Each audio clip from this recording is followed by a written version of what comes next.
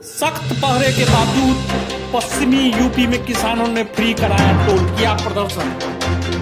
सरकार के प्रस्ताव को ठुकराकर किसानों ने आंदोलन को तेज कर दिया है। शनिवार को सभी टोल फ्री करने के आह्वान का असर पश्चिमी उत्तर प्रदेश के कई जिलों में देखने को मिला।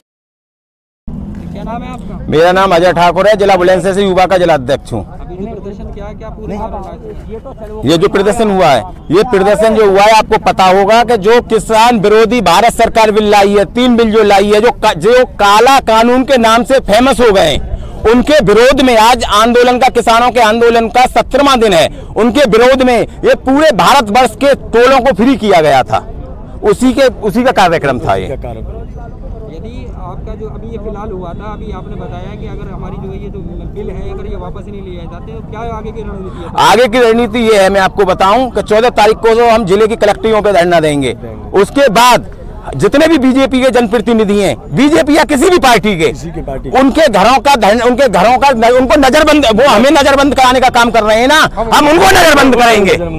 और उसके बाद भी अगर सरकार होश में नहीं आती तो फिर जो मुख्य राजमार्ग हैं, उन पे जाम लगाया जाएगा। अगर फिर भी सरकार होश में नहीं आती, बिलों को वापस नहीं लेती तो सारा देश का किसान दिल्ली कूच करेगा और पूरी दिल्ली को जाम करने का कार्य करेगा।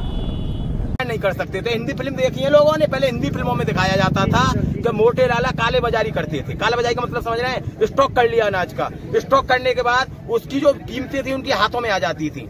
जब चाहते थे बाज़ार को अप कर देते थे जब चाहते थे जब डाउन कर देते समझ रहे हैं आप बात को?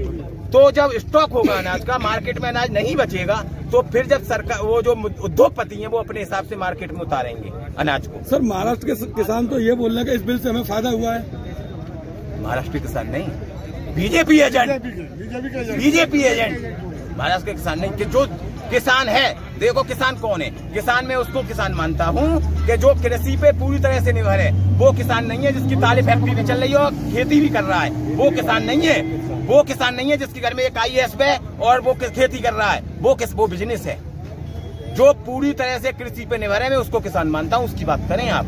वो नहीं है मेरा भाई विधायक है विधायक का बेटा कह रहा है कि मैं भी किसान पुत्र हूँ वो किसान वो है? किसान?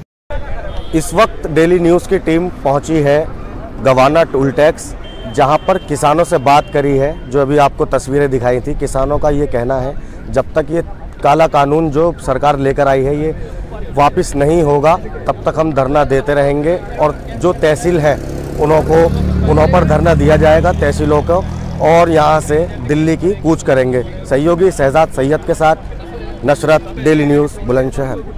Daily News online के साथ।